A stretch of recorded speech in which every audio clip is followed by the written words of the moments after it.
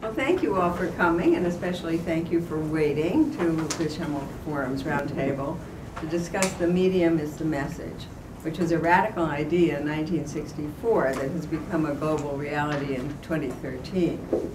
I did go back to reading the chapter, uh, which I have for you all, on the, the medium is the message in Marshall McLuhan's book, Understanding Media, The Extension of Man.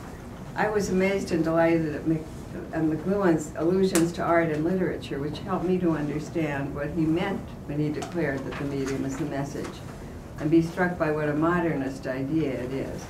For example, he spoke about a Cubist painting as the quintessential example of the medium being the message. I'll read it to you. Cubism, by giving the inside and outside, the top, bottom, back and front, and the rest in two dimensions, drops the illusion of perspective in favor of instant sensory awareness of the whole. Cubism, by seizing on an instant total awareness, suddenly announced the medium is the message. In short, the Cubist painting is not representing or depicting something outside the painting. The painting is the message, there before you in its frame, or without a frame. Uh, in art, cubism and the forms of abstraction seem a natu natural progr progression from a painting as an explication or interpretation of something else, something outside the painting, uh, whether it's a portrait, a landscape, or a still life. On the other hand, with news, especially when you pick and choose your media, the medium as the message can have dire effects, according to McLuhan. He notes this, that C.P. Snow, reviewing a book on appeasement, mused on why top British minds didn't see the dangers of Hitler in the 1930s. He concludes they would not listen to warnings because they did not wish to hear them. Being anti-red made it impossible for them to read the message of Hitler. They selected the media message that they wanted, apparently precluding consideration of any other message. And then McLuhan, the prescient one, co comments, but their failure was as nothing compared to our one. And today we can say, you know, our, our, ours, is, ours is more, our failure is, uh, is worse, and probably has more dire effects than, than his. Uh, the choices are infinite, the impact profound. People today can and do indeed choose their medium. Uh, before I turn to Julie to begin the discussion, I want you to join me in welcoming Mark Jurkowitz here at my left. He's a Scranton native, the Associate Director of the Project for Excellence in Journalism at the Pew Research Center in Washington. And we thank you for coming, Mark. My pleasure but we won't let him say anything until I turn this over to Julie uh, to begin the conversation. Well, thank you, Sondra. And we're just going to, I think, do some, mainly some introductions so we can hear some opening comments from Mark. But I'm very excited to be joining in this discussion um, in my role here in, as Director of the Office of Community Relations. And so, of course, there's plenty of uh, Scranton goings on and ways that we are involved as the university in the public affairs issues here in Scranton. And My previous work was in Middle East politics, where media plays a huge role, and that in fact actually fuels the conflict um, in many ways. So I think it kind of goes to our point that the medium and the messenger, as the messenger um, and the message are inextricably linked. Um, as Sondra has already touched on, I think the, the premise of our discussion is that the medium has changed dramatically in recent years. We may have to ask ourselves whether Facebook posts and Twitter feeds are going to replace reading the crinkly New York Times over a cup of coffee on Saturday morning. I think we all hope it's not going to completely replace that, um, but it certainly has changed. And I think Maureen Dowd, the op-ed that you have here, speaking specifically about the old and new media and how it impacted the Boston bombing reportings, which is you know very relevant and very timely for our discussion. Um, so hopefully we'll, we'll touch on that. Um, but we wanted to really get started by having some introductions around the table, who you are, just briefly, your name, your, if you have an affiliation you want to mention, um, but also maybe how you get your news. Uh, and, and if you want to say how you heard first about the Boston bombings or if there's something else you'd like to touch on. I think we said five, five to ten words, so not even, not even the 140 characters you're allowed on Twitter, but something uh, more brief than that. So um, maybe we'll start here and then we can end up with Mark so he can, he can open up our, our comments. I'm Brian Burnham from the Department of Psychology at the University of Scranton. Um, I get my news through the New York Times, HuffPost, um, Twitter, Facebook, just about any place I can find information. I'm Kristen Yarmey, I'm the Digital Services Librarian here at the university. Um, I do still read the news, the New York Times in print. I feel odd doing it, but I love it. Um, but I also get news from everywhere else at the same time. I'm Vi Kelly. I'm a neighbor of the university, I live in the health section. Uh, I get my news from the New York Times, from uh, television, whatever, anywhere I can. I'm Jan Kelly. Are we related? I'm uh, in the Department of Communication, a faculty member. I have taught a little bit about McLuhan over the years, but not all that much to an introduction, in an introductory course. I read the newspaper as well, and I watch the network news, and I watch CNN, and I watch MSNBC. I do not watch Fox. It's Joanne Babish, I'm an assistant at the Schemel Forming Nets, and I mostly take my news online. My name is Kate McDermott. I'm Director of Marketing and Communications at the Scranton Chamber of Commerce. And I will pretty much take my news anywhere I can get it. Newspaper, online, television, anywhere. I'm Maury Myers, and my affiliation is to the moderator. Is she your source of news as well? He's my source. I'm Steve Scheiman, I'm at the Commonwealth Medical College, and I can't believe that I'm the first person who's going to say that I get my news from National Public Radio, Oh, uh, Yes. as well as the New York Times. I'm Kelly Scheinman, and by default, I get my news from NPR and, uh, as well as um, New York Times and TV. I'm Gloria Jurkowitz, and I'm Mark's mother, so I get a lot of my news from Mark when I have the questions. Otherwise, the New York Times and Rachel Maddow. I'm Estelle Friedman, and um, all of those. Uh, I get my information from all of those places. But I'm actually here because I'm in love with Mark Durkle. I'm Esther Friedman, no relation to Estelle, but we're frequently uh, confused, apparently. I I mean, the name's not. That did not cross We're all confused. Uh, I do read the New York Times in print and online, and I get Financial Times online, and I listen to NPR, and I watched television, and it- for the Boston event, I really was glued to the uh, television, I have to admit. I was switching stations, but I, I did stick pretty much to the television. I guess I should say where I get my news, so I think most of them have been mentioned. I, I do like to look at my Facebook posts to get a sense of my friends and what they're uh, talking about. And for Middle East politics, which I follow a lot, I go to the local news there. So I look at Haaretz and Israeli and and Arab, uh, you know, media. I'm Richard Yost, and uh, I'm a local, and the Times I read uh, is uh, usually the Scranton Times. Uh, I read a lot of magazines, or pick and choose, uh, and, uh, usually uh, for an article uh, that I've heard advertised on TV or mentioned on TV. Um, I read a lot. I'm Francis Rogan, a local uh, member of that vast army of retirees. And uh, I don't know, I get my news mostly perhaps in television or recent papers. I make it a point to avoid the New York Times.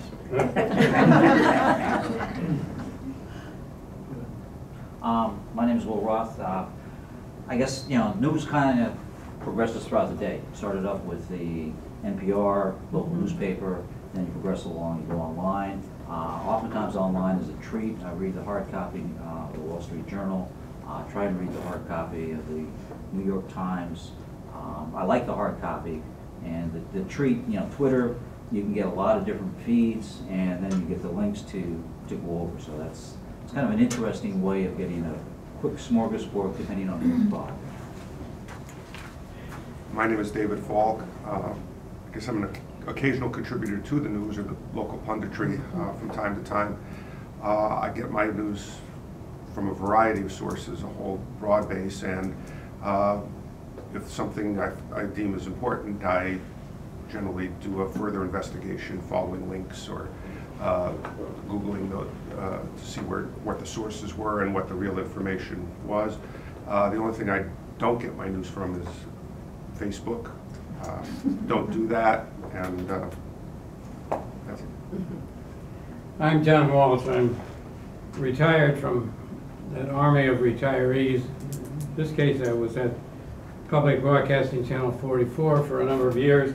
And therefore, true to that, I rely on television, but also commercial television for some of my information. I'm Grace Stockard, I'm a speech pathologist in the area.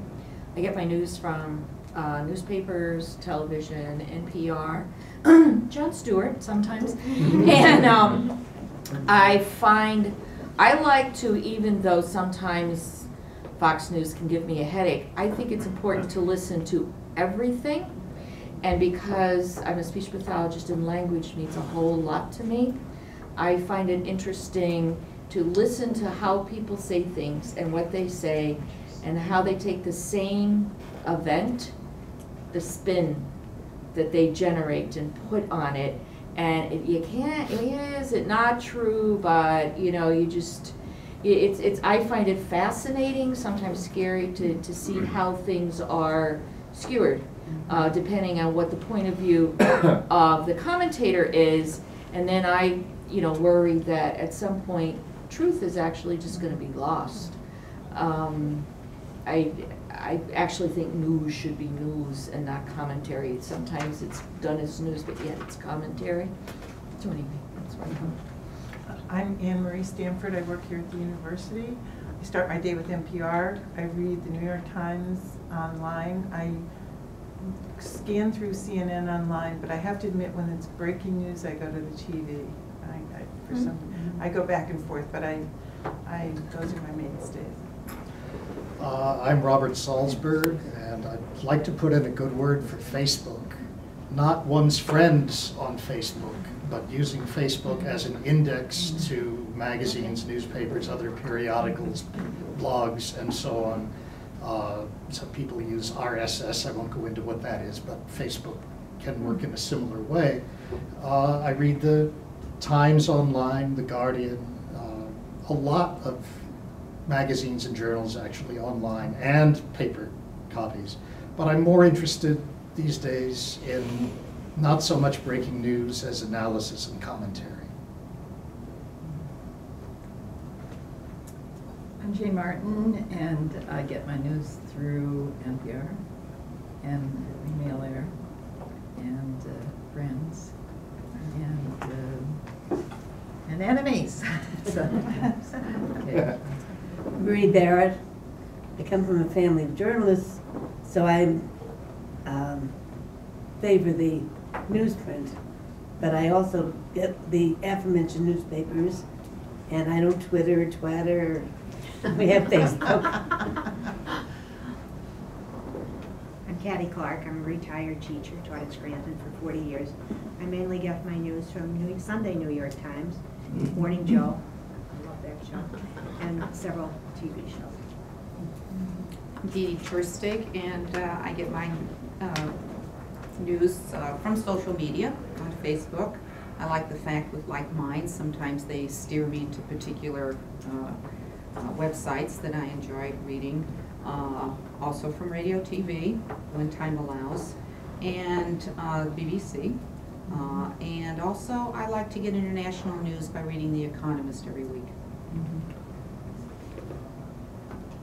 I am related to And this lady. partner. We have a tendency to do the same thing. I think I have a number of apps on my iPad that are BBC, CNN, uh, public media, and I go there if there's, if there's breaking news, I, of course, like everybody else, hit the television to see what's happening there. And we do like to follow through with the in-depth things, and The Economist is an excellent magazine for that in a lot of regards. Uh, I'm Mark Jurkowitz. I'm the Associate uh, Director of the Pew Research Center's Project for Excellence in Journalism, weirdly named. We're probably going to change it. No one knows what excellence in journalism is, really. I'm serious about changing it. Uh, my own news habits, I guess I should start with that very quickly, are I will read the print version of the Washington Post first thing in the morning when I get up. Uh, when I drive to work, I will listen to ESPN radio until I get sick of Golic and Greenberg. Then I will turn to NPR uh, for morning edition.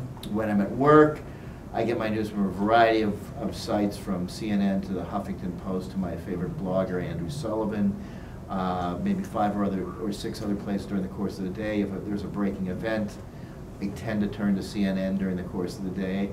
Um, and then when I get home at night, I absolutely i- im- imbibe in no news whatsoever because at that point, watching news would be like a postman taking a walk on his day off. Um, Let me, I I just wanted to talk for a couple of minutes about uh, the structure of, of the media environment that we now live in. Um, What what we do at the Project for Excellence in Journalism is really sort of three things. One is a content analysis, i.e. a scientific evaluation of the work that's being produced by the news media largely in the United States. Uh, Another area of work we do is we do a lot of, uh, of public opinion surveys or surveys asking people how they are consuming news on the variety of digital platforms that are now available and what these various platforms mean for the kinds of news that are going to be successful on it.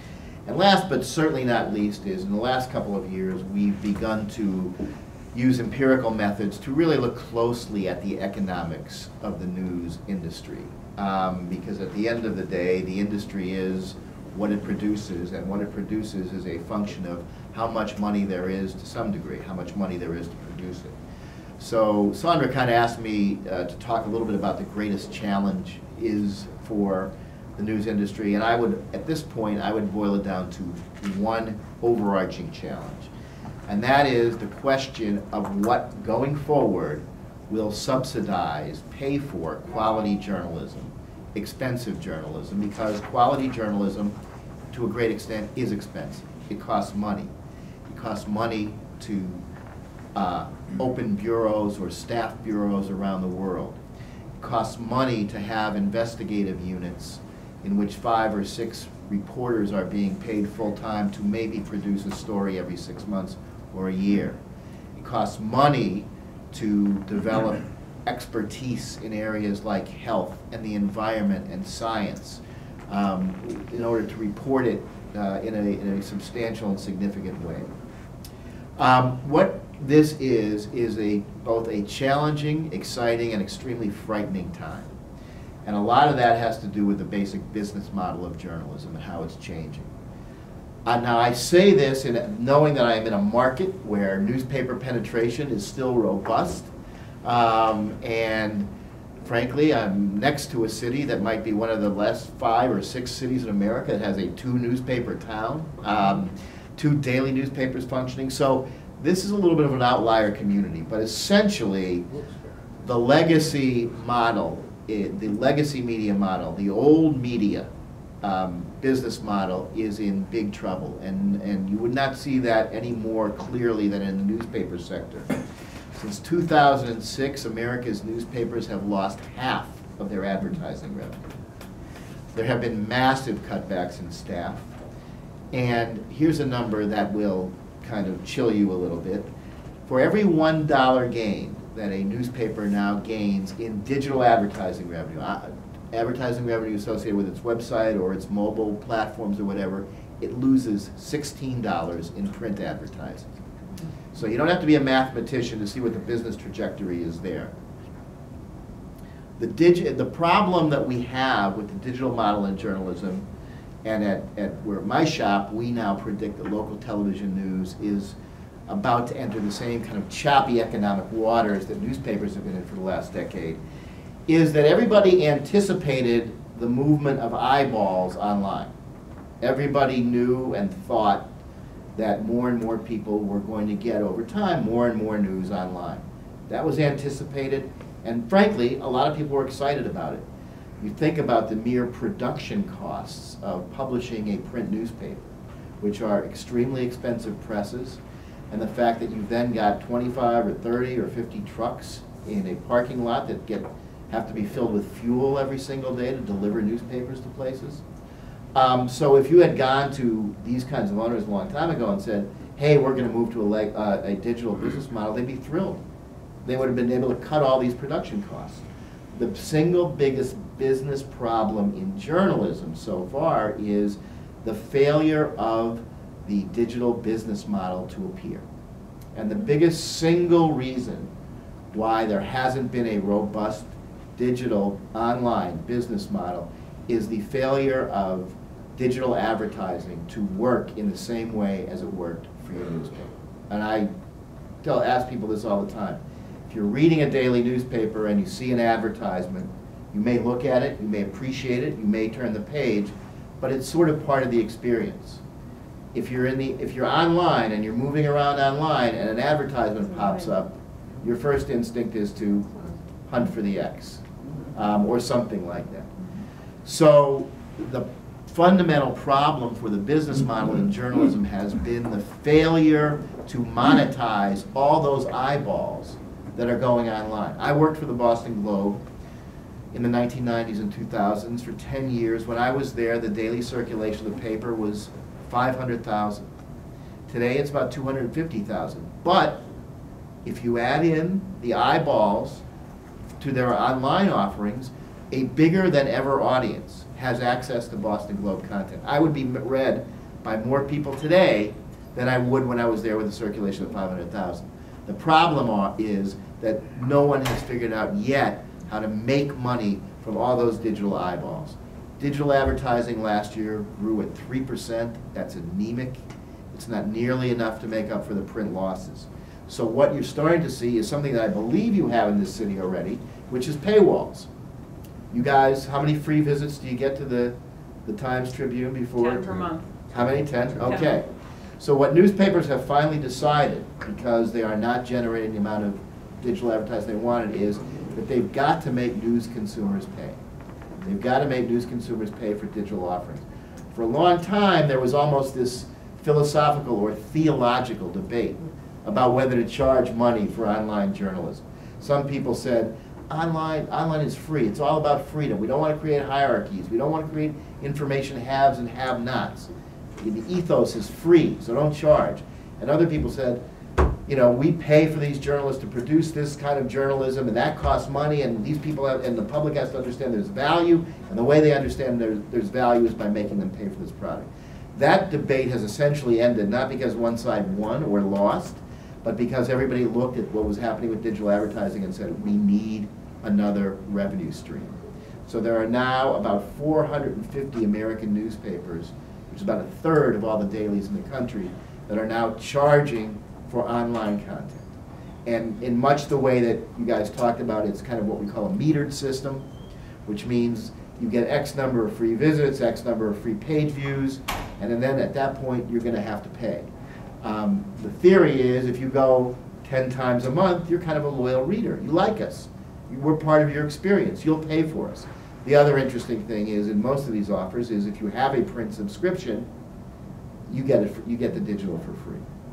Um, so frankly, for the future of newspaper journalism at least, the, however this paywall experiment turns out, and it's too early to know, um, will say a lot about the future of the industry. Right now, the New York Times, it used to be that it, the model for newspapers was 80% of the revenue came from advertising, 20% of the revenue came from subscribers. At the New York Times right now, they make more money from circulation, both print and digital, than they do from advertising. That's a huge change. Um, let me just say a couple other things quickly, and then I'll let you guys get back to the discussion. In this sort of changing media landscape, where we're seeing the big newsrooms breaking down and getting smaller over time, we see a lot of interesting new players arising. One of them, frankly, and, and we're working on a study on this right now, is what we call nonprofit news organizations. All over the country, we've identified close to 200 of them that are small, online-only news operations. 75% of them have five or fewer staffers. They run on budgets of 500,000, 250,000. But because they are nonprofits, they are able to accept foundation donations and foundation giving and giving and public and donations and funding that is tax exempt. What they have done is they are not trying to replicate the, everything that a newspaper does, from sports to weather to national news. They're picking niches, uh, journalistic gaps that they think are now being left open by what's happened to the broader journalism world and focusing on either their local city hall or the state house or the environment, and maybe the most famous one is ProPublica. I don't know if any of you have heard of it. It's based out of New York. It was started with a $10 million donation from a wealthy San Francisco Democrat named Herb Sandler. Um, and it, it does only one thing, investigative journalism. And their whole theory was that in a time of tightening resources, that expensive investigative journalism was going to be the first thing to go in most newsrooms. So they are literally trying to fill that kind of niche. The other kind of exciting new player, obviously, is the citizen journalist. We, we now have the means and the technology to make everyone in the world a reporter. We saw that, we've seen it happen a million times. We, we've seen it, we saw it happen, obviously, during the, uh, the, the Arab Spring. We saw it happen during the 2005 subway attacks in London. We saw it happen in Boston. We know that the first person to break the news of the attack on bin Laden's compound in Pakistan was a local neighborhood blogger who heard a helicopter overhead. Um, so the citizen journalist, and I won't go into any great detail, is now increasingly, although albeit with different standards, becoming a part of the information ecosystem that never existed before. Um, and I want to just say one thing about uh, social media, which is also becoming an increasingly big part of the media ecosystem. Um, we have one of our organizations at Pew does what we call news consumption surveys. Every two years, they ask people how they get news. And really, the question they pose is, did you get your news this way yesterday? So the last one they did, which was in 2012, they asked, did you read a newspaper yesterday? Print newspaper. Only 23% of American adults said yes. In 2000, that number was about 50%. Then they asked whether or not you got news from some kind of social networking or social site the day before. That number was 19%, almost as high as the number that read newspapers. And the trajectories are very different, because when they asked that question in 2010, only 9% of people said yes. So that's double in a mere two years. Um, interestingly, we think there's some evidence that getting news from, fram, from fram, family and friends, however you get it, actually enhances news consumption. Um, most people who get news from family and friends say they still do it the old-fashioned way, by talking, uh, or phone calls, or in person. Uh, 15% say they usually get it from some kind of social media site from family and friends. The good news there is, however, that however they get it, people who get news from family and friends are very likely to then go and seek out the original journalism. And I think that's one thing we have to keep in mind when we talk about, at the end of the day, there has to be a, an initial content producer, a source of journalism somewhere, no matter how much, of it- how we access it, that we trust, that we think is credible, and that is fundamentally telling us as close a version to the truth as they can get. And that's at the core of all of the rest of the sort of media landscape and universe. So it's an interesting time, it's an exciting time, it's a scary time for people who are interested in the news business. The one thing that we said in the overview of our State of the News Media Report, which is our signature product, it's 160,000 words.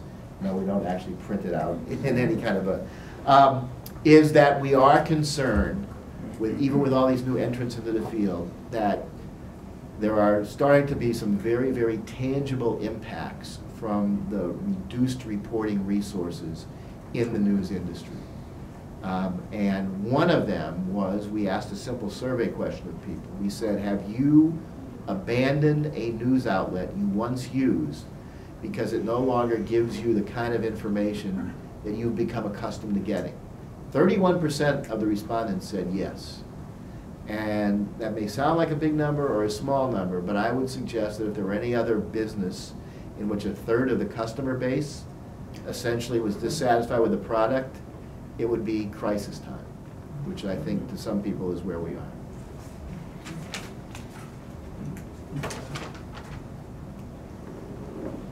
Well, uh, we, uh, I suppose, would like to know, uh, we, we've talked about where you are getting your news from. Uh, How, how scared are you and what, what are we, um,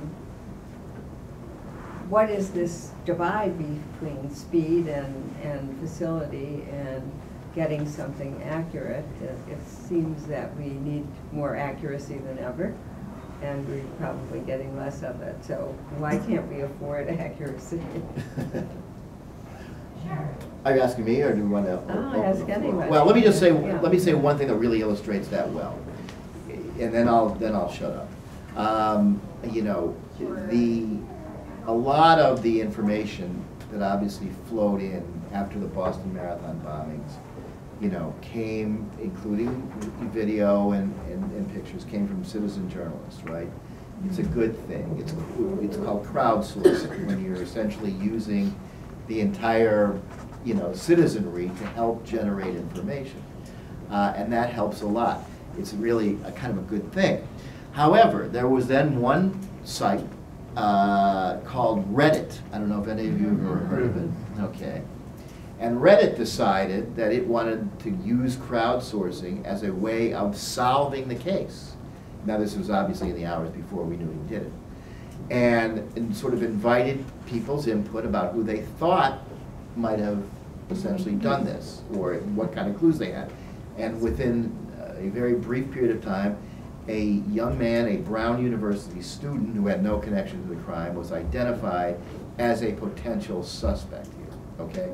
So there's the classic clash between something that's good, which is crowdsourcing, getting information, and the fact that there's no sort of behind-the-scenes editing, so that suddenly someone who's not associated with this at all is being associated publicly with a heinous crime. By the way, just in a weird uh, post-mortem, postscript to that, the young man who was identified uh, by Reddit was found dead, um, but had been actually been missing. Had he had died before any of this actually happened. In- In just what turns out to be bizarre, you know, circumstances. But there's a classic clash between getting information, getting it from multiple sources, and the potential negative impacts of doing so in a less structured environment. Well, if I can add to that, because I had just read on the New York Times a story about Reddit, and they quote, but this is what what you were just talking about, but the, the Reddit, I guess, you know, uh, man, general manager says, its, its purpose is a sort of attention aggregator. It can tell you what to pay attention to, but it is certainly not a replacement for news reporting. So they're really trying to distance themselves from being seen as being, you know, responsible in a sense for accurate news. They want to play that role of, as you said, crowdsourcing. And they did apologize, by the way, formally. Mark- Mark, uh, I don't want to take this off into too far a different direction, but, uh, you know, that last example sort of goes against the book, The Wisdom of Crowds, uh, you know, if you read that. However, um, we're not, we're now talking about, in that instance, the creation of news. They're, they're creating a story. They're not reporting a story, they're creating a story. And uh, one thing that I think was implicit in what some, some people say, particularly with regard maybe to Fox News, is the creation of disinformation. Uh, That, that, that go, that, that goes on as well for whatever, for political purposes or, or what have you. And I don't want to, and again, if that's not where you want to go, I don't, I want to. This is I mean, I- I'm and not we- we see, this. we are seeing more, part of what I do and what what I research Yeah. is, I'm seeing more and more of this, um, unfortunately, in even academia. You see it in medical research, where you've had journals had to retract uh, stories because the drug companies had really written the story and just had a doctor sign off on that. Uh, You, you know, phony science, uh, the, you know, the the stuff that, uh, about global, global, well, climate change, I'll use that phrase, even though the terms that you use are that.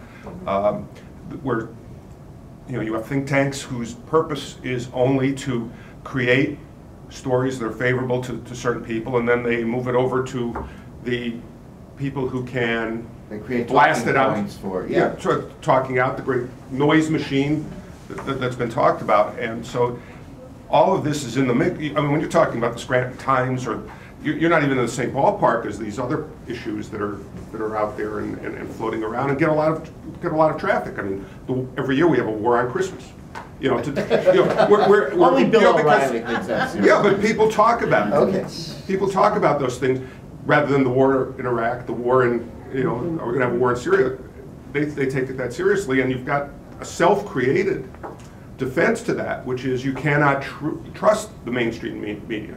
You have an entire group that has grown up for 20 or 30 years listening to Rush Limbaugh, who's been, and Glenn Beck, who've told you, you can't trust any other sources except us because they're, they're bad. So I, I don't know whether that plays in anything you're saying or, or not. Well, it, I mean, I think it's a huge issue, you know. Um, uh, I think this is, the, in some ways, is the best time and the most challenging time to be a news consumer. Uh, I mean, could you imagine anybody fulfilling the role, or at least the way I remember it, uh, in, in today's media universe that Walter Cronkite did? Uh, that, you know. Or, Eric yeah, or Eric Remember Eric Sevareid, Sevareid? where, you know, Uncle Walter said, that's the way it is, and a huge Mhm. percentage of America believed him. Could we imagine what would happen today if his Tet Offensive commentary had been given? What, he would have been, half the country would have attacked him, half the media outlets in the world would have attacked him, the other, instead, the Pentagon blames him, you know, for ending the war, rightly or wrongly. Um, there obviously, what we've lost is, and for, and there's a lot of good in this, we've lost the gatekeeper media, okay? There was a time when, in a much smaller uh, and contracted media universe, uh, there were a bunch of powerful media organizations that essentially delivered the news to Americans, and they tried to deliver it as real news, um, without spin, without politics involved. Now, there were big downsides to that. Um, I think we would, uh, and- you may feel completely differently about this, but I think we could say that John F. Kennedy probably made Bill Clinton look like a monk, but none of us ever found out about it while he was president because the media was very different in those days and the gatekeepers didn't want that story to get out. Right now, we live in a world really where I think we're talking almost about niche journalism, you know, and me, and matching yourself to an audience. So we talk about cable news, which is incredibly powerful. It's, it's the most obviously, I mean, there are websites that are ideological. It's the most obvious, if you watch MSNBC and, and Fox every night, not only are you gonna get different opinions, you're gonna get different facts. You don't know if the sun's rising in the east or the west if you're watching those. Hmm. And frankly, they, they don't really care. What they, what, you know, Fox News, and, and, and they have a sort of an outsized reputation and influence. As bad, as much as everybody talks about the shriveling of the audience for the CBS Evening News and the NB, you know, the NBC Nightly News and all that, those programs, even though the smallest of those programs, which is CBS, gets tw- twice or three times the audience O'Reilly gets on a given night. But O'Reilly, and which is, and that's the most popular cable show, news show in America. So uh, there's a sort of a, uh, so Fox and MSNBC aren't going for all of America. They're going for three million hardcore people on one side of the issue or three million hardcore people on the other side of the issue. Kristen? I think something that needs to be brought up in that context is the shift from mass marketing to targeted behavioral advertising. So it's not really advantageous to advertisers to look for the three million eyeballs when only three hundred thousand of those eyeballs might be interested in your products. When we look at the amount of personal data collection and tracking that's going on, there's this huge incentive to identify exactly who you want to see your content as opposed to getting as many people as you can think of to see your content. Mm-hmm. So I think, I mean, the, the financial incentives are driving the shape of the mm-hmm. news. Mm-hmm. And I think that's something that most people don't really know about, and it gets me really angry. Well, as, as educators, as there are several in the room, what, how can you uh, have your students, can you make them more discerning about not only what they favor, but what is, what is more accurate than something else? Yeah? Well, yeah, I mean, just for background, I study human attention, um, and the attention aggregator, no pun intended, caught my attention. Um, but one of the big uh, challenges we face as edu- educators is just that, is how do we kind of uh, have students focus on um, important information and disregard irrelevant information, or I should say, um, misleading information. And as a, uh, as an attention researcher, um, one of the um, things that's fundamental to human cognition is the ability to reflect on and contemplate information But what we really fear in my field is with the 24, and this kind of came up a minute ago, what we really fear is cell phones going off at random. Um, You should have them checked at the door That's like they do in Um, high school. What we really fear is with the 24-hour uh, news cycle is we're losing the ability to uh, engage in contemplative thought. Um, We don't have time to just reflect on the information that we're taking in. We're just taking in too much. Um, Our information, our information processing system is pretty uh, extensive, but we can only handle so much. And uh, I can say in my lab, we're already seeing changes in human attention in the last 10 to 12 years, which is a basic process. Yes. Well, I think yes, there's Bill. a, I think there is a, uh, an underlying problem that occurs with the, with the media as the diversity of the media as I see it, and that is that people who have specific types of opinions or political leanings and also have money are able to create organizations that make the news sound like they want it to sound. Like, I mean, who, who do you, uh, do you have any specifically of that? So they're like selling, selling news. Yeah, they're selling news, you know. Selling news with some uh, political agenda? Right, with a political agenda. That's something, Social though. I mean, agenda. a hundred years ago in New York, you you know, Right. you you you had Hearst and and the Right. Pulitzer papers, and you knew Yeah. by what paper Yeah, right. someone had under their arm, what, what it was. When you had Mm-hmm. that vast array of, of papers, whether you're reading the Sun, the Telegraph, the, the- the Herald Tribune, or whatever. Although, right, although that, that went away. and- Yeah, for a And while. American journalism, sort of per- post-World War II, became different. Something very basic. I was in college when I heard the medium is the message, and that, that didn't mean much to me. Um, Five years later, I joined a faith community, a church, and I'm sure it's the same way in the synagogue and, and- and the mosque as it is in the church. We're confronted with this at every gathering. The, the preacher gets up in front of you, and at the point where there's a hard word to be delivered, he or she can fudge it, uh, uh, trying to make it more palatable. And so, uh, one can give in to the temptation of entertaining. Uh, it- it- has to go along with the idea of uh, somehow the cult of personality. Uh, That, that can win the day. And after a while, if that's successful, the preacher, uh, whoever he or she is, becomes very popular and very powerful, but is not giving the message correctly. Uh, Somehow has become a figure, authority figure, but at the same time, the message isn't authentic. And I, I think that's what I've heard since the first person spoke here tonight. We're getting the kind of uh, information that sells well. So, so for, for those of you who, who want to start at the beginning, I, I, I can't understand some of the, the, the technology and all of that, but I think um, it, it, uh, uh, William Randolph Hearst was just mentioned. And, and he wanted to sell something, and he, he, he made it very sellable. The question was, i- is it true? So, so, y- y- you know, this has been, yeah, probably everyone here at, at one time or another has had some kind of experience within a, a gathering of the faith.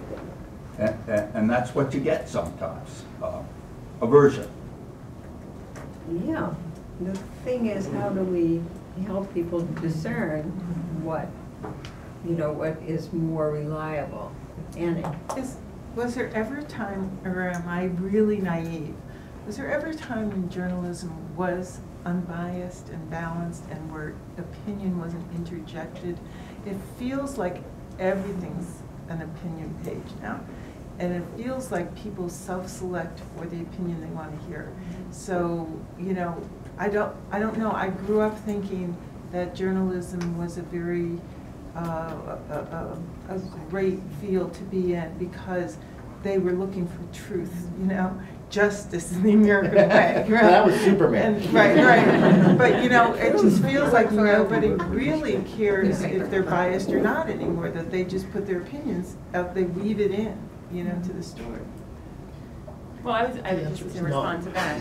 The, um, the famous headline, wrong headline, Dewey defeats Truman, was nineteen forty-eight. Yeah, right. So even though we have, you know, just the Syria hackers, you know, telling us that the White House was exploding and Obama was injured, that was a wrong reporting due to Twitter and social media, but that was sixty years ago. Right. And that was because they didn't like Truman, and, you know, and he then touted it as he went around, this was, you know, Mhm. proof that he did win. So in some ways, things change, but they don't always change as much as we might think. I think there, there were times when you had, felt you had more reliable so- sources to uh, check in on, whether, whatever, even if you were very ideologically one way or the other.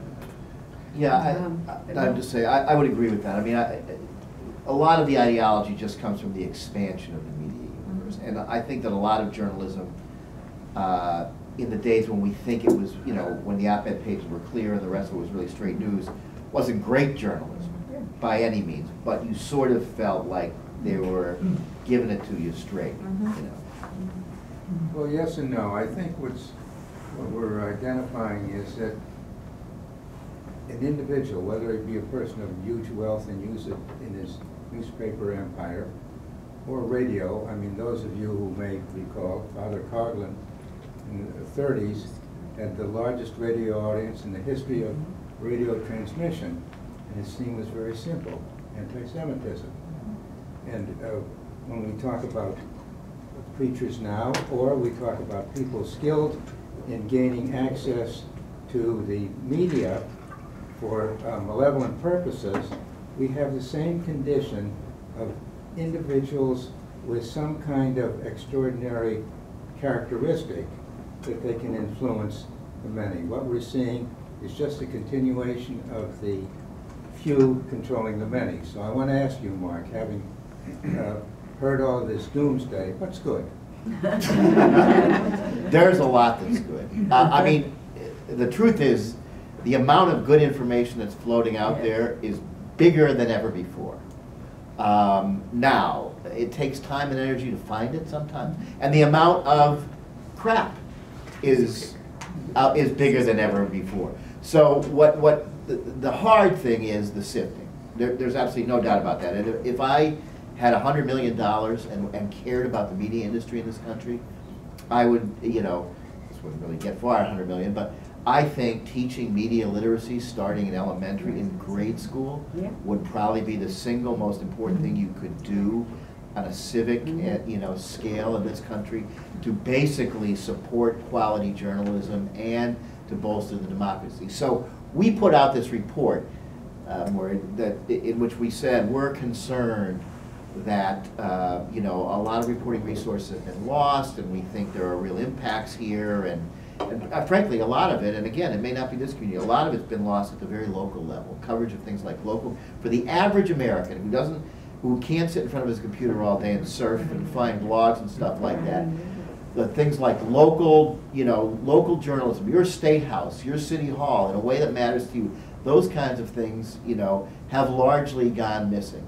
Um, and uh, that's, you know, I I think that's one of the bad things we've seen. We said so, we came out with a negative report, and a very notable blogger by the name of Matt Yglesias took issue with us and basically said, you're wrong, these are the best of times. And he then talked about the, what was happening at that moment was the banking crisis in Cyprus, something that's far too esoteric a topic for everybody but about 2% of anybody.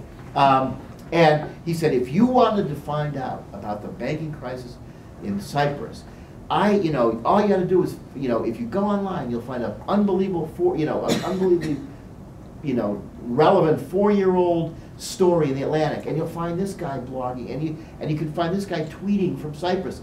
And so that's the good, which is if you have the time and the intellect and the ability to sift good from bad, there, the store, the shelves of the store are more stacked than they've ever been before. Unfortunately, there's a lot of grade B product out there too. You know, you raised the question about the decline of revenues and affecting the serious impact on newsprint in this country. For example, Harrisburg is now three days a week. Yep. Here's a newspaper in the state capital, and as you know, New New Seattle, Orleans. New Orleans. Yeah. But here we are in a higher educational institution, and its problems are the same, because online is uncertain as how it's going to affect second, uh, the non, the non-elite institutions in this country. So the New York Times will survive, and Harvard will survive, but they're facing a similar situation.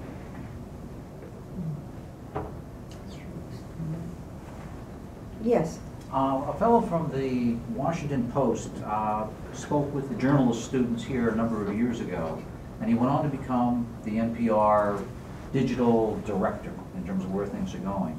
And he was addressing the, the journalist students, and he was kind of saying, hey, good luck. You know, like, uh, start a blog. Um, You're not gonna get a job, you're not gonna get paid much. Um, Your salary is gonna be a fraction of what the earlier generation got. Um, So the concern I have is paywalls, what's the information overload doing to our mind, so to speak? Um, I think Marshall McLuhan taps, talks about, we are what we behold, in terms of the input and the information that we take in. And uh, we shape our tools, and the tools shape us.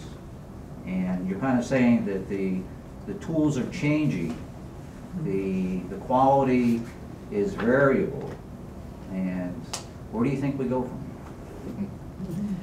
Uh, and let me just say one quick thing about what the Washington Post guy said. It, it, for people, young people who are in uh, journalism school are still stunningly optimistic about the profession, which is good to know. And I think that's partly, you know, um, the grace of youth.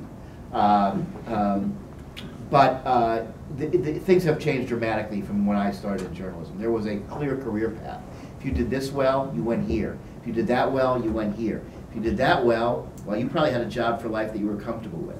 Now that ladder has been all the all the spokes or whatever you call it are broken. Okay, that there is no ladder like that to climb. So frankly, there are a lot of people in journalism schools basically telling you know kids the or young people the way you're going to be successful now in the journalism world is become your own brand. Now, and, and and part of that is because you you know you no longer need to be attached to the means of production. You are you have the means of production.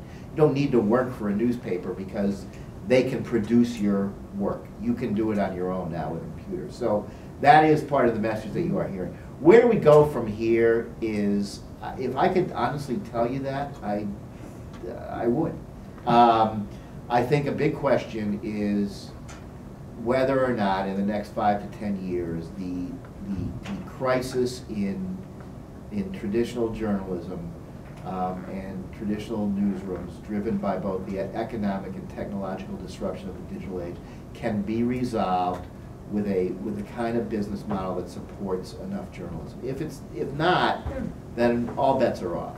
You know, I mean, there'll be journalism for sure, and a lot of it will be good, but I couldn't tell you how you're going to get it. We have a two-tiered system then? Like those that have money will be able to access the journals and the, the good databases, and Well, those that don't won't? But isn't some of That's the true, problem the yeah. fact that the New York Times eventually could not have the, could not afford to have foreign correspondents on the ground? And then you're gonna, you're gonna lose that local reporting that you, you need. So that even if you, even if you had a tiered system, that you can't, you won't have the news to actually access. I mean, isn't that part of? Yeah, uh, you know? look, I mean, the first thing that happened to Boston Globe when the money got tight was they Sure. closed every foreign bureau, Yeah.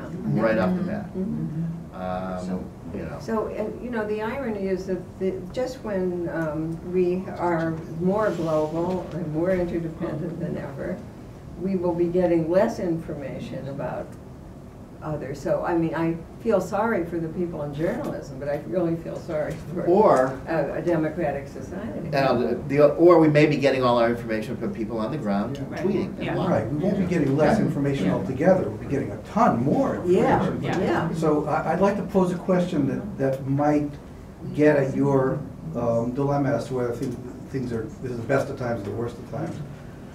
Uh, Over a decade ago, the United States was led into a war, some people would say partly because of the abdication of traditional journalism, voice of God journalism, you know, this is the way it is, um, to ask questions when the government made certain claims. Now, and that was before the downsizing of so many media outlets, particularly print media and the foreign bureaus and all that. So today, if a government tried to get away with lying to the people into, into a war, would the mass of information on the crowd be a better check than the media were a decade ago? Well, I- that's, I I mean, if there were, if there were people on the ground in Iraq saying, believe me, Saddam doesn't have weapons of mass destruction, it might have helped ten years ago. Um, That's a very good question. Inspectors were there telling us that. Well, they, yeah, but they can't, it's very hard to prove a negative. Uh, and that was, but, but I think there are two things happen there. One, I think that, that it, it showed, no matter how independent, people did question the, the run-up to the war. Walter Pincus at the Post was one of them. And they were on A fourteen, while, you know, the people listening to Curveball and the bogus sources cooked up by the administration were on A one.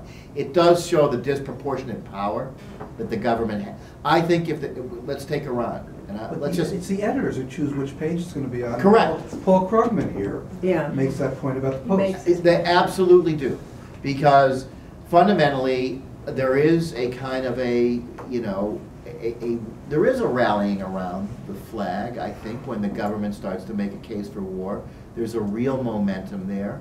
Um, uh, I, I think, um, news organizations start basically talking to each other. I will tell you, I, I was reporting on, you know, news organizations in the run-up to the war in Iraq. You know what they were actually doing?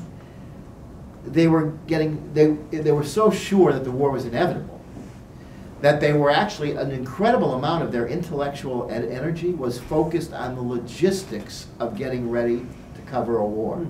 A war in which they thought there would be chemical weapons.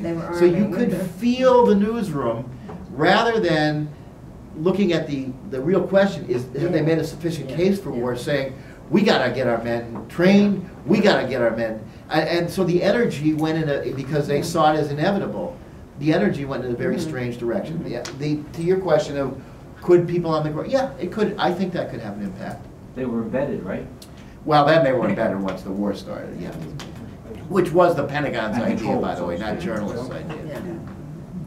Well, Didn't the same thing just happen in the last two weeks with the differential that existed between what the uh, atrocities in Boston and the ones in Texas? Uh, Boston got how many hundred thousand times more play? Three people died. I mean, a lot of people were injured, granted. But look at the difference in play that that got compared to the, the explosion in Texas, where, what, 150 people died? No, I don't No. think. No, 15 died, but 200, 200 were Right, it was a more lethal event, yeah. Yeah. But it was the terror aspect. Yeah, Yeah, it's it's- different, uh, Also that it happened in Boston and, you know, uh, you know, where you had a, a large media presence at a, at a particular time. I mean, uh, look, we can't underplay the ability of certain people to, getting back to a previous point, to amplify attention and amplify their message. Uh, You know, the hometown newspaper in West Texas, if there is one, just can't compete with all the cameras in the world that were on Boston in, a- in an international event. It just, it just doesn't matter. And, and newsrooms do, whether it's commercially driven or not, uh, make decisions about how much coverage should be given. Yeah, I want to throw out a slightly different point, because, you know, we've talked about having all these reporters and and things like that, but there is a growing trend to suppress the news. For instance, uh, you've probably all seen undercover videos that are shot. I mean, you've seen them on ABC, you've seen them on 60 Minutes, you see the PETA things, for- for instance. And I don't know how many of you know that there are actually laws in place, probably from ALEC or something, that prohibit people from doing this in certain industries and certain plants. And there are, and they are proposing more laws, so you can't go into a chicken factory, or you can't go into a hog factory and take an undercover video of people abusing the animals or showing unsafe conditions, the, or you can't be Upton Sinclair anymore, because you have committed a felony, because the industries have gotten things, uh, gotten the legislature to pass laws which prevent you from from doing this stuff. Uh, I mean, that's a trend. The other thing, you, you mentioned education. Um, There is a huge trend now for homeschooling, where people don't want their kids to learn anything but what we know and what we want you to know. Uh, I think the epitome of that might have been uh, Rick Santorum in the last election, who said, you know, Barack Obama wants everybody to have an education. What a snob. You know, he wants his kids to only learn what he wants them to learn. It's not, not broad-based, ac- it- it's whatever you want to call it. And that, that's out there uh, as well. It's, it- they, they're worrisome trends, in my opinion, uh, but they're, they're there. And, um, you know, so maybe we have a lot more to look forward to, but maybe we we don't. I I just, uh, I I I just spoke down in Washington, I mentioned something about Regents University and some of the law schools that they're affiliated with, some of these, uh, Liberty and whatever, and someone said that they'd gone to one of them, I can't remember which one, and they, they had a problem getting a contracts book because they didn't have the right perspective, the religious perspective of contracts being taught in a law school that was going to put people out there to, to practice, and, they- I mean, these things are, are, they're, they're not expanding information, they're contracting information. Oh, there's someone behind you, and then Bob, and, mm-hmm. Well, I, I wanted, oh, yeah. Oh. Well, just the gentleman who's Oh. behind David, yeah. Do you see any danger of the demise of the printed word and the possibility that the National Public Radio will become perhaps the principal organ in the country? I think we can all, I, you know, I, just speaking for myself, I, I, although Sondra and I were talking about the, what texting is doing to the English language, um, uh, no, I, I don't, I don't see that happening. And, uh, I, think the printed word's gonna be around for quite some time. I, you know, eh, I mean, online Do you think journalism. it's appropriate, the National Public Radio? Is it appropriate as an out, as an outlet? Well, now, as an outlet, where do they get their information from? What do they say, and who directs the, na- the National Public Radio? People have been extremely critical, uh, like of Fox News, and not the other networks, and I don't know that Fox News has ever been charged with editing tapes, yet. They? Uh, no, I mean, my personal opinion is that NPR had, while they've had their share of, of mistakes, uh, it is generally a quality journalistic outlet. That would be my, With the exception that they edit tapes occasionally. no, not with the exception that they edited tapes occasionally. I would say that by and large, I mean, this is my, own my own personal opinion, you can disagree. But I think they, they have excellent reporters and by and large do excellent journalism. That doesn't mean that certain people don't think there's bias there. They, they seem to be, to ignore some stories, to be conspicuously absent from reporting them, like the trial in Philadelphia of the abortion doctor, until they were shamed by other media. Were they not? I, I, we could get into that particular case, but I, I, no, I don't think they were shamed by other media to do it. I, I mean, obviously, a longer time to get into the I- I mean- race, so to speak. yeah, and it took, it, so- it took other organizations a longer time, and, and frankly, you could look, many outlets are identified by their news agenda, so we, when we look at content, we can tell you the stories that Fox News doesn't cover, and we can tell you the stories that MSNBC doesn't cover, and you would easily be able to make the connections as to why. Well. So, I mean, I- I understand that. where you're coming from, Well, but, I- I- yeah. Yes, we should be told that. Well, um, Uh, uh, I, I, I, eventually, I'd like to get back to the, the question, I mean, I, I personally would like to say something eventually about whether there was ever an objective time in news reporting, and as far as I'm concerned, no. But I want to ask you a concrete question about something very concrete. Why has no newspaper or no news source adopted a system of micropayments for hmm. specific articles instead of these general paywalls that block off news from a whole city online? You know, uh, I'm not going to pay for a year's subscription to the Dallas, whatever it is, in Dallas, Texas, in order to read a few articles a year. You know, and the same with the Globe. I don't think the Globe does give you ten free articles. I, I haven't been No, able to the get Boston, Globe. the Boston Globe website is bizarre. They basically have a free site and a hard paid site. Um, the free, free site has a bunch of general stuff, and some of their journalism, and the hard paid site has, yeah. they- To, th- to their credit, they did drop the paywall uh, during the week after the bombing. Yeah, yeah. No, I mean, there's some flexibility there. But, I mean, wouldn't it make more sense to adopt a system of, you know, a few cents or fractions of a cents for viewing an article? People, I don't know. This was a big thing ten years ago and nobody's ever done it. I know, absolutely, and there was a lot of talk about it. And I don't know whether the technology wasn't any good, whether people crunched the numbers and said it wouldn't work. I honestly don't know why they haven't tried that. And for, uh, uh, there has been, I mean, even the paywalls obviously have, have uh, tri- morphed over time.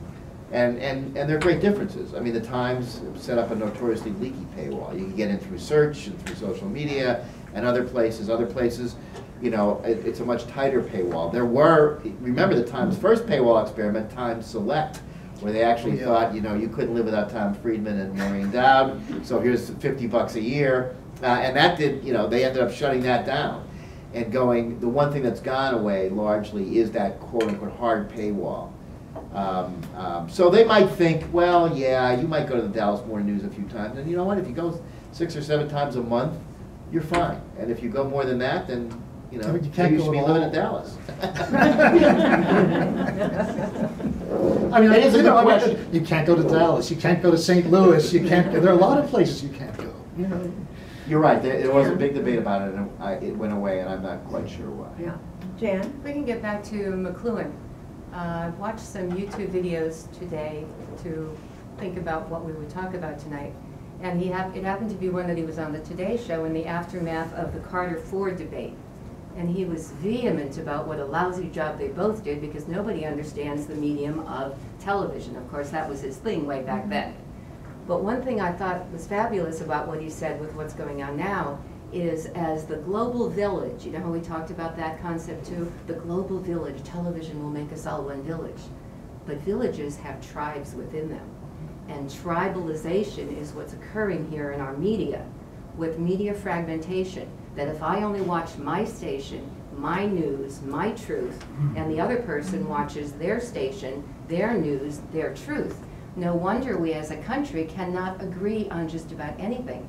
And it's frightening the heck out of me. Media fragmentation, a concept called narrowcasting. I can avoid anything about that doctor in Philadelphia. I choose not to hear about that. And if I choose not to hear about it, it's not true then, in my mind.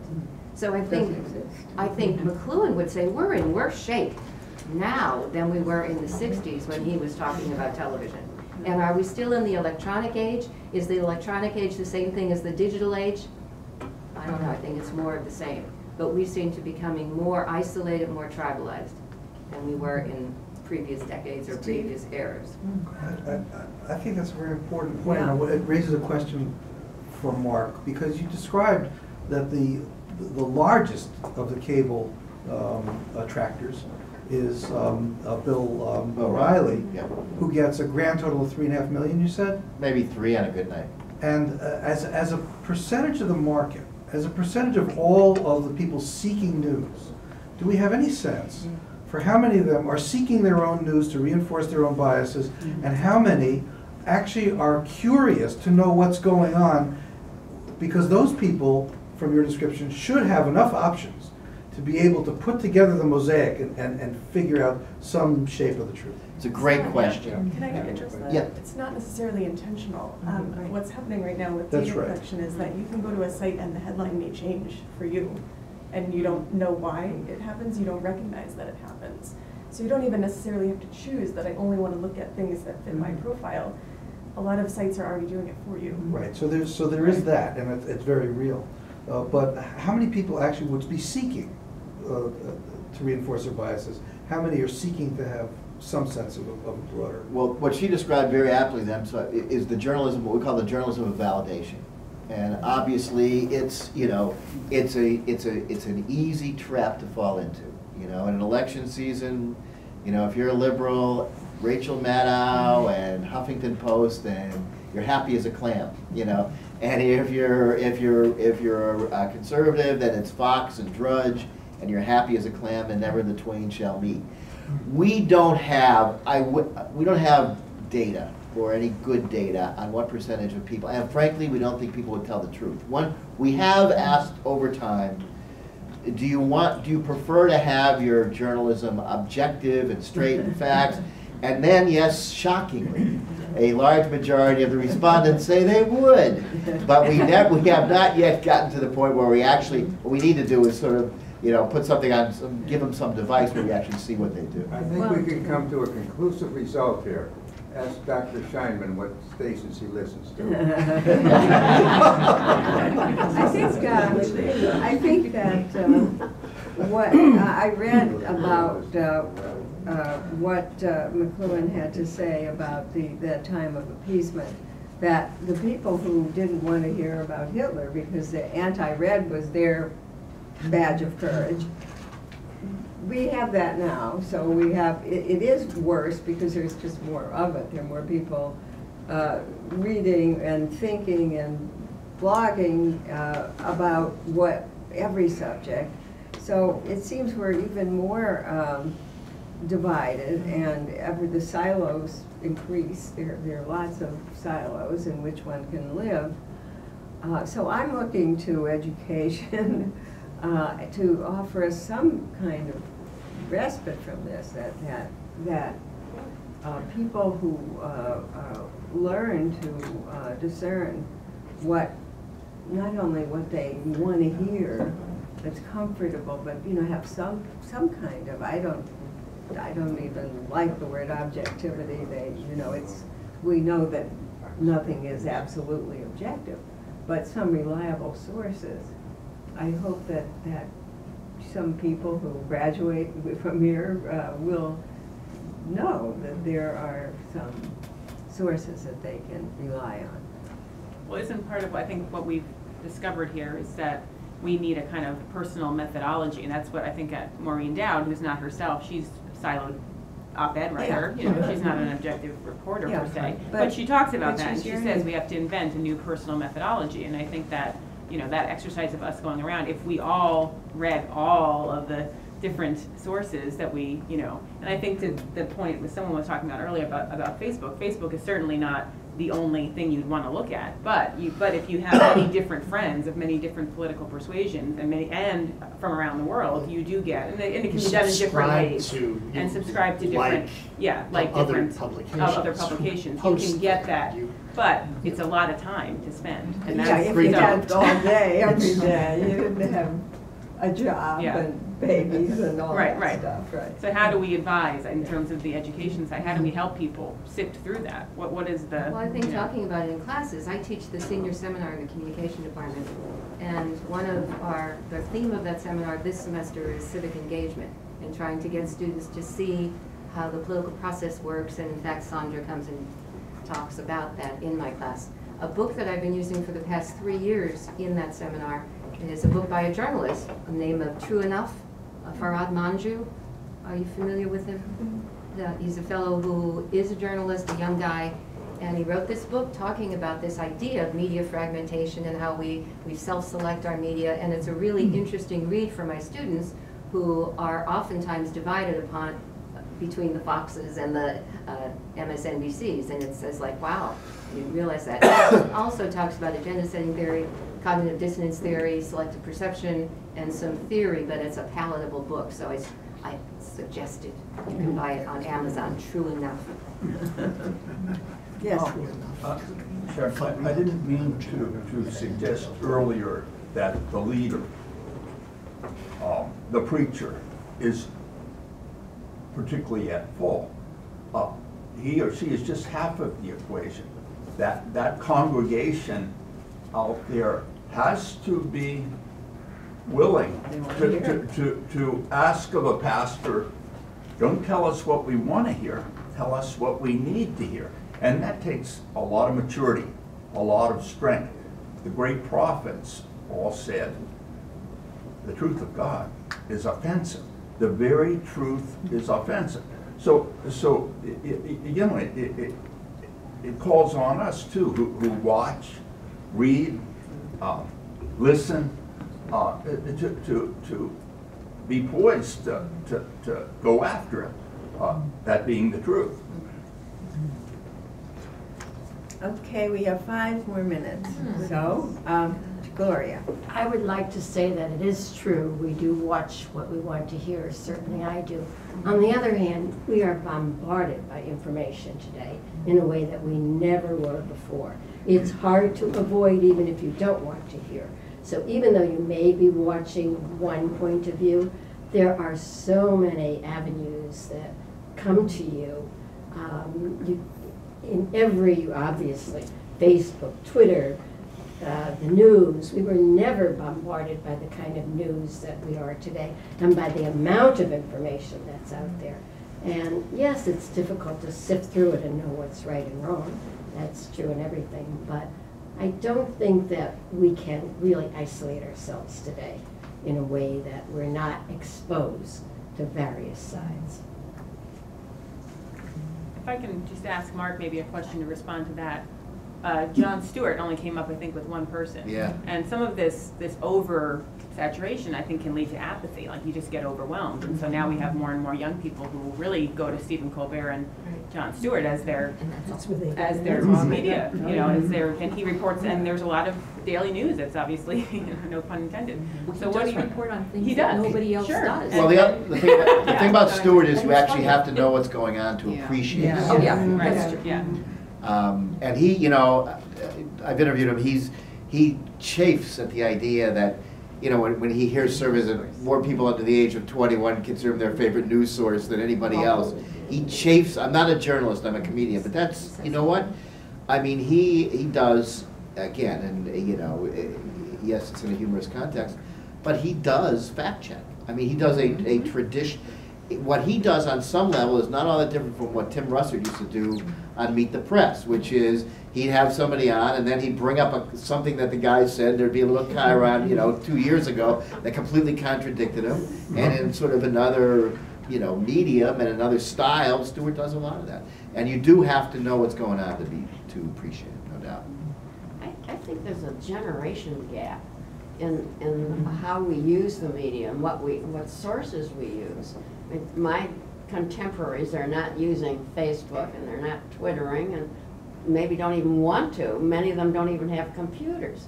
So this perhaps is leading to different, what'll I say, understanding of what's going on in the world. I mean, uh, I would say rely, relying on the newspapers and the television as opposed to going to Facebook and Twitter.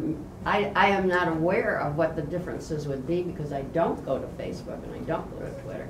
But this could be a, Yeah. Online. Bill. Oh, go ahead, Bill. Oh, my worry is that the young people don't go to the news media at all.